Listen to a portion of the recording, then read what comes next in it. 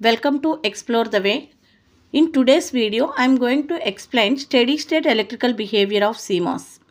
To understand steady state behavior, first of all we have to understand logic levels. CMOS logic levels. In CMOS, 0 to 1.5 volts is, is represented as low 3.5 volts to 5 volts is represented as high when the supply voltage is 5 volts. Actually in logic circuits the output of one gate is connected to the input of another gate. Suppose let us consider such a situation.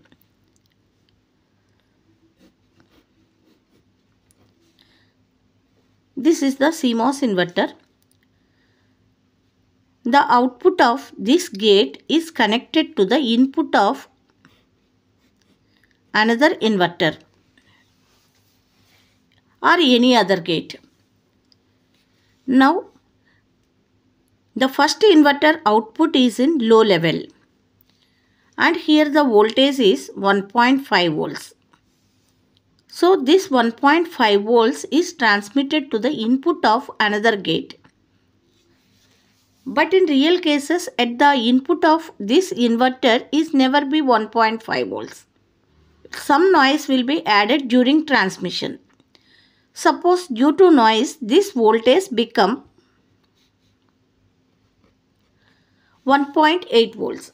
But this 1.8 volts not at all treated as low voltage, which is neither low nor high. So, which is in the undefined region. This is the problem. So, only the range of voltages for low and high states are not sufficient in real situations. So, we need more conservative logic levels. In real cases, there is a need to represent low and high states at the input of the gate as well as at the output of the gate. So, the more conservative logic levels are maximum output voltage in the low state, maximum input voltage in the low state and minimum input voltage in the high state,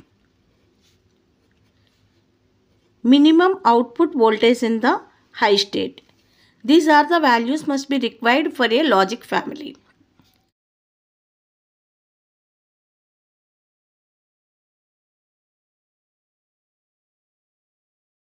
This is the VOL max, VIL max, VIH minimum, VOH minimum. VOL max is is at 0.1 volt. VIL max is 30% of VCC or 0.3 VCC. VIH minimum is 70% of VCC and this value is VCC minus 0.1 volt. Now let us calculate all these voltage levels when VCC is equal to 4.5 volts. When VCC is 4.5 volts, VOH minimum is equal to 4.5 minus 0.1 volt which is equal to 4.4 volts. VIH minimum is equal to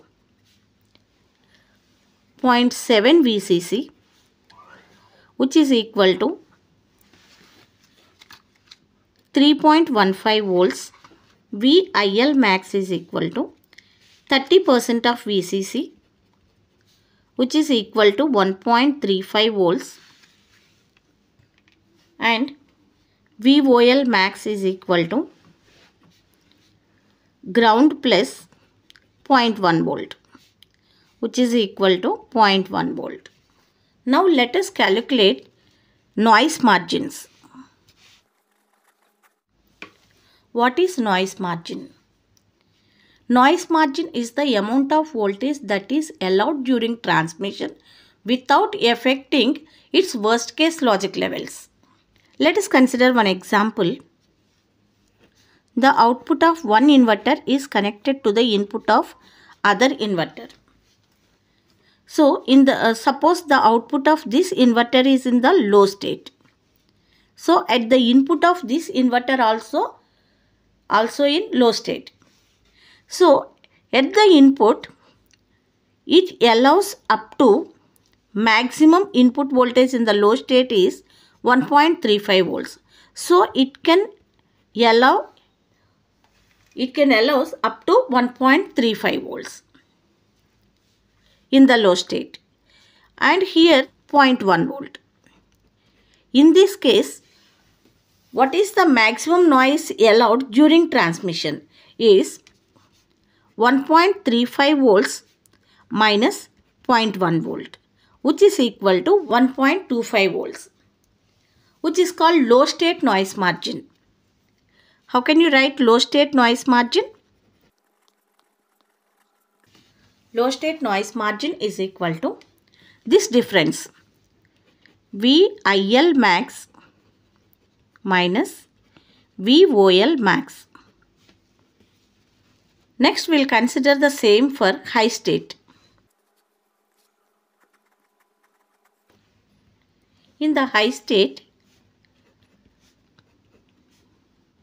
Actually, our high state starts from VCC, but due to noise, the voltage level may be reduced. So, at the input of this gate, what is the minimum value it allows? The minimum values, the minimum value it allowed at the input of input in the high state is 70% of VCC.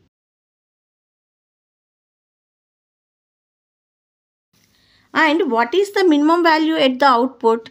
At the output, here the value is 4.4 volts. So, the minimum value at the output is 4.4 volts but during transmission its value may be reduced up to 3.15 volts. Then what is the noise margin here? the difference of these two voltages that is 4.4 volts minus 3.15 volts which is equal to 1.25 volts. This is called high state noise margin.